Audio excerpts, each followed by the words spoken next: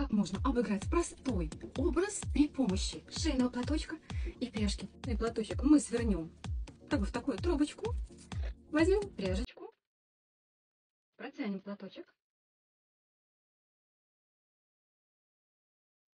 У нас получилось. Мы сейчас сделаем очень оригинальный вот такой чокер.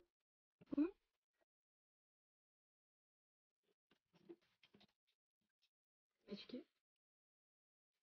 И наш образ готов. Может, давайте попробуем еще кое-что. Мы сделаем другой вариантик. Теперь мы завязываем платочек таким образом.